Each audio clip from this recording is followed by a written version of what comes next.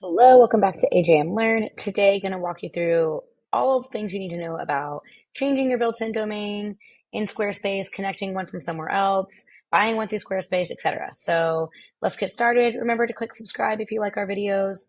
And all right, let's jump in. So on your Squarespace site, this as usual is my sandbox site, so excuse the craziness.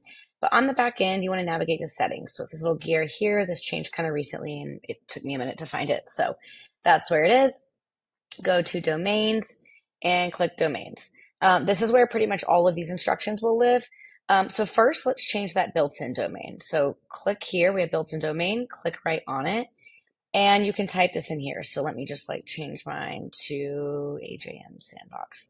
You would click save, confirm, and then just note this is that built-in like .squarespace.com domain. So it would be ajmsandbox.squarespace.com. This is that free, never expiring domain Squarespace gives you, and typically not the one you use because most people don't want that like Squarespace piece.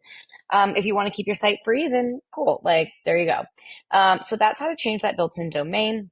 Next, I will show you how to buy a new domain through Squarespace. So again, typically you want to, let's go back into settings you want to get a domain without that .squarespace.com. You just want your own, so go into domains. If you want to do it through Squarespace, they're a great domain host. They recently bought, I believe it was all of Google domains domain names, so they're getting more into the hosting business for domains. But anyway, click get a domain. So here you're going to type in what you want. Let's say I want like hello AJM experience. Oops, if I can spell it right. Dot com. So type in what you think you want, hit enter. Um, a lot of times what you want won't be available. Like if I wanted, my name is Amanda, if I wanted amanda.com, that's of course not going to be available and it'll tell you and it'll suggest others too. So that's great. Let's pretend I wanted, I don't know, amandafamily.com. Um, all you need to do is add that to your cart. You can just click this cart here. If you decided you wanted several, you can add them all to your cart. A lot of times people want several ones. I'll show you how to set your primary domain, but just in case you wanted several, you can add several to your cart go to checkout, and then you would follow the prompts to buy that domain.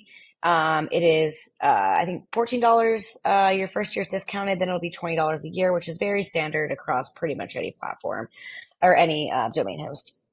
Once you purchase that, it will connect direct immediately to your website. So that's really a super easy way to do this. Um, another option is to con- connect a domain from another host. This is what I typically do. All of my domains are in GoDaddy. So if I click use a domain I own, I'm going to need to type it in. So this is really random, but I know that I own a domain, pizzaandranch.com. I bought this forever ago because I thought it was funny and it was available and I just still have it. Um, it's going to give me these options. We'll come back to transfer. It will tell you here, this is kind of nice to confirm like, okay, I've typed in the right domain. Click connect domain. Okay, you have a couple options. Option one is to click get started. What that's going to do is it's going to prompt you to sign into GoDaddy follow these steps. These steps are pretty straightforward, so I'm not going to click through them. But what these steps would do is connect you by name server. This is specifically for GoDaddy. Every host is different, and I've linked in the post. Um, Squarespace has a guide for all the most popular hosts specifically. So I suggest following your specific host. Um, I don't suggest doing this process. So this will try to auto connect uh, typically by name servers is kind of new, and sometimes by altering the DNS, but it's just been really glitchy lately. It's really not been working. So I've been doing this manually. So I, instead of clicking get started, I've been saying no, use DNS records, select your provider. Uh, it will auto select typically pretty well. Sometimes it'll just choose GoDaddy and you can change to other um, and click to connect domain. So if I do it this way, okay, so if I do it this way, it's going to pop up this box prompting me to sign into GoDaddy, which you would need to do. Um, so let's go back. So let me get back in here. Sorry. So let's say user domain own andranch.com. Um, get back in here. Okay. So if I click get started, I believe for GoDaddy, this will just do name servers. If you click use DNS records, it's going to want you to. So if I go GoDaddy and click connect domain, it's going to try to do it automatically. Try it out, see if it works. This typically is my second most preferred option. So if you click connect domain, it's going to prompt you to sign into your domain host based on what you've chosen here. And it's going to try to auto connect it. Sometimes it works great. Again, I've had an issue like lately where it hasn't. So what I've been doing just to be foolproof here is choosing other and click connect domain, click continue. Then here, what you're going to need to do is add these records to your DNS. So this is not, again, I'm not going to go dive into all that right now. This is, I'm really showing you more the Squarespace side. Follow the Squarespace guys to do this. It's going to show you how to do it. But like within GoDaddy, for example, I would go to that pizzaandranch.com.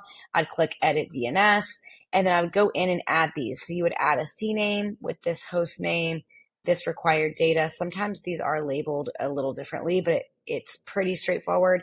Um, and you'll need to add these or change any that are already existing.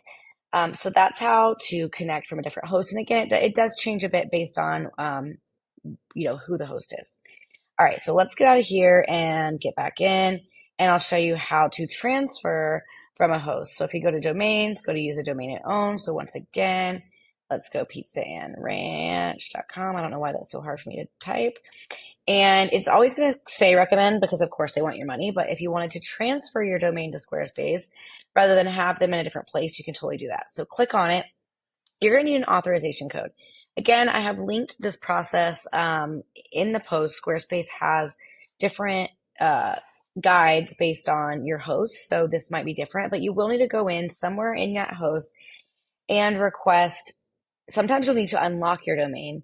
And then in the process of doing so, or say transfer away from GoDaddy or something, the prompt is always a little different. And you're going to need an authorization code along the way, save and continue. Um, this does take up to 15 days, and I've seen it actually take that long. So, no, don't do this if you need to like launch your website tomorrow. Um, so, save and continue, and that would go in the process, but it does take some time. Okay. Then last thing I want to show you, I'm going to just pop over to this site since I have multiples connected. So you're going to need to go into your settings. Oh my gosh. And of course my little thing is in the way. My little toolbar. Okay. Um, go back into here, go to domains. And if you have multiple connected, you can click into one. So for example, I would click into ajmexperience.com. It's connected. This one is already my primary domain, but if it wasn't, you can click set as primary domain. So again, you can have as many domains as you want connected to your site in case someone types it wrong, or if you had an old domain and now you're using a different one or something like that. But this, you can set your primary domain so no matter what, how they get to your site, it always auto directs, like in the toolbar, it will say this primary domain. Okay. Um, that is all. Again, make sure to check those guides. I, I, you know, diving into all the different domain hosts would be a very, very long video. Um, so check all those different guides to make sure you're connecting things properly. Hope you enjoyed. Again, remember to click subscribe. Thanks so much.